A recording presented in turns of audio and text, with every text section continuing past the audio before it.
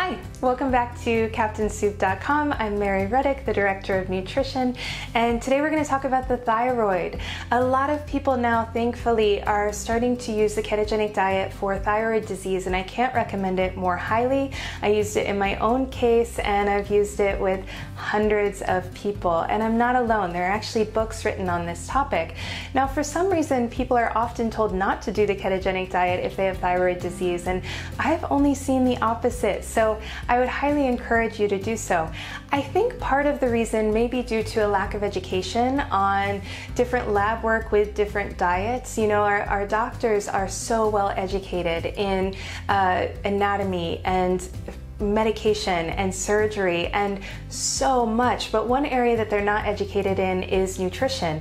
And there's a very different state in the body when you're in a ketogenic system versus a glucogenesis system. Your lab work is going to look totally different and it needs to, actually.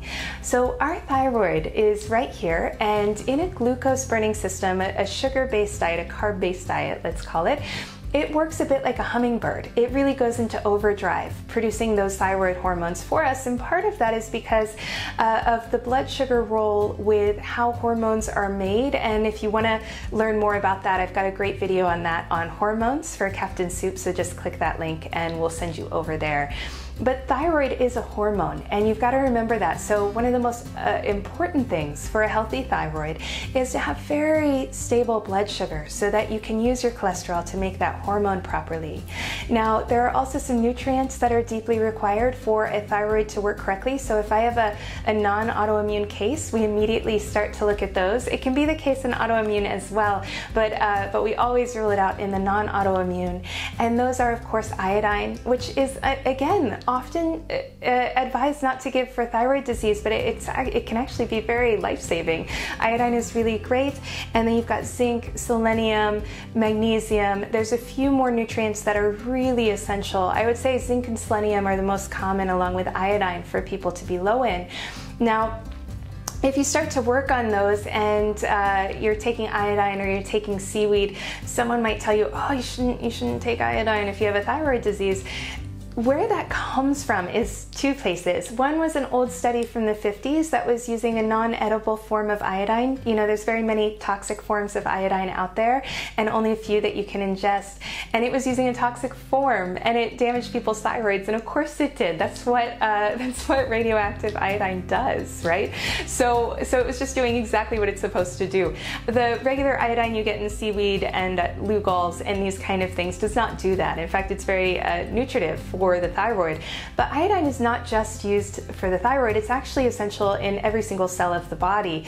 And it, it, the body uses it to block itself from other toxic chemicals to itself, or dox, uh, yeah, toxic chemicals, uh, chlorine, fluoride, and bromide. Uh, bromide or bromine being the most common.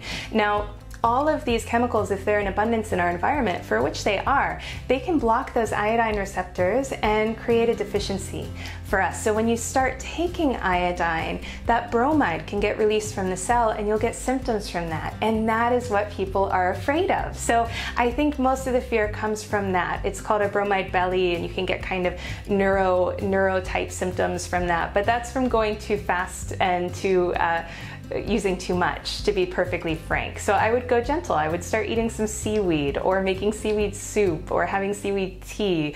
Uh, so a whole food based form of iodine isn't going to cause that bromide dump. One of the reasons why the bromide is, is such a problem is because it's really not meant to be in our bodies.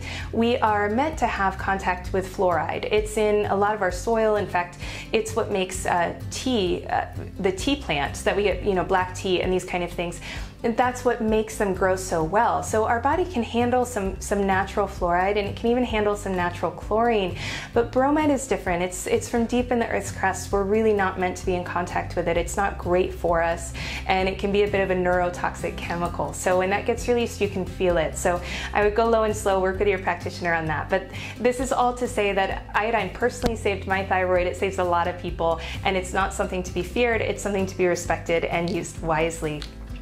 Now, going back to the ketogenic diet and the thyroid, again, when you're in a glucose burning system, which most of us were raised on, it's going to be working like a hummingbird and exhausted. So when it's sick, a great thing to do is to move your body into a ketogenic system where you're burning fat for energy. And that is very slow. That's more like a bird soaring through the air. Think of a beautiful, elegant albatross. That is the thyroid's function on a ketogenic diet. It doesn't have to work as hard, and as such, it doesn't have to produce as many hormones, specifically T3. As much T3 is not needed in a ketogenic system as it is in a glucogenesis system. So your T3 scores will be low, but I have to tell you that does not mean you are hypothyroid in any way, shape, or form. If your T3 was normal on a ketogenic diet, it could actually mean your thyroid is too fast. Lab work does change on a thyroid on a on a ketogenic diet for the thyroid, but it's not a bad thing. Uh, hopefully, you learned something here today. If you have any questions about this topic, please ask below. I'm happy to address them in another video. Again, click the link, uh, say like on the video, and please come back for our next ones.